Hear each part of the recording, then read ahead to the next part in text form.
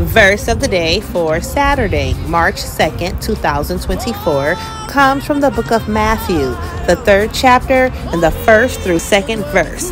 And it states, In those days, John the Baptist came, saying, Repent, for the kingdom of heaven is near.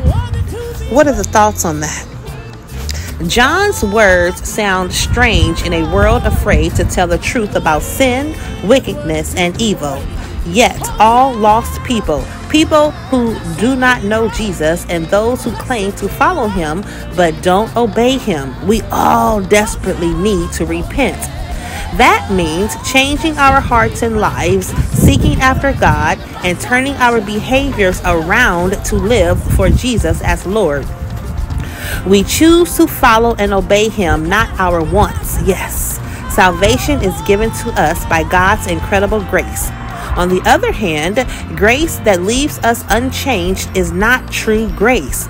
Grace not only forgives us through Jesus' sacrificial death on the cross and our faith in Him, but also liberates us from the empty and destructive life without God, His guidance, and our purpose. Let us pray. Forgive me, dear Heavenly Father, for my sin. I turn my heart back to you and commit to live my life according to your will and for your glory, not my own, and certainly not the ways of this fallen, broken, and lost world. In Jesus' name I pray. Amen.